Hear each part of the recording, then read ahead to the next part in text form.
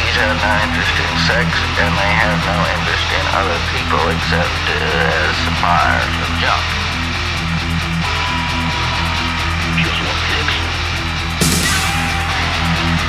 They go around looking younger for a few days, then they need more.